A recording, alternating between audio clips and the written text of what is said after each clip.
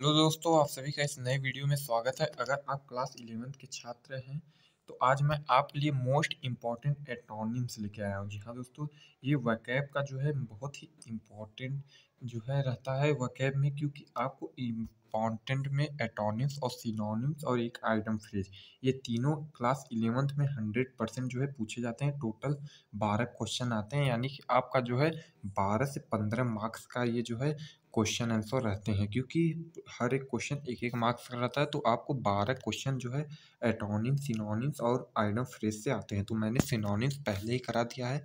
आज मैं आपको इस वीडियो में क्लास इलेवंथ का मोस्ट इंपॉर्टेंट एटोनिम्स कराऊँगा, जिसको हिंदी में विलोम शब्द कहते हैं।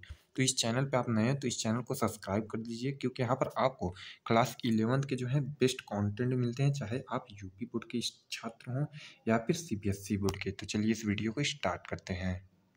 तो मोस्ट इंपॉर्टेंट एंटोनिम्स में आपका पहला है अभोर अभोर मतलब होता है पस, जो है डिसलाइक करना मतलब आपको पसंद ना करना। तो लाइक और अप्रूव लाइक मतलब आपको पसंद करना। एनालिसिस इसका होगा synthesis barren fertile boom slump फिर उसके बाद callous soft censure praise common rare compress expand cruel, kind, gentle, defense, offense, despair, hope, defend, confident, expand, contract, fall, rise, folly, wisdom, industrious, lazy, punish, reward, true, false, good, bad, morbid health तो यहाँ पर जो है आपको twenty जो है most important एटोनिम्स कराए गए हैं, जिसका आंसर भी दिया गया है।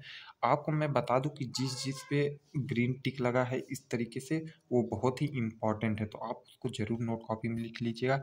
जैसे मॉर्बिड का होता है हेल्थ ये मोस्ट इंपॉर्टेंट है। फिर आपको बता दूँ एक्सपांड कॉन्ट्रैक्ट डिफेंट कॉन्फिडेंट ये दोनों इंपॉर्टेंट हैं। फिर उसके बाद जैसे ऊपर जाएँगे, आपको यहाँ पर दिखेगा डिफेंस ऑफेंस होता है इसका कॉम्प्रेस, स्पांड, ये भी इंपॉर्टेंट हैं। फिर आप और ऊपर जाएँगे तो आपको जो है मोस्ट इंपॉर्टेंट में मिल जाएगा जैसे एक एनालिसिस सिंथेसिस ये भी मोस्ट इंपॉर्टेंट है।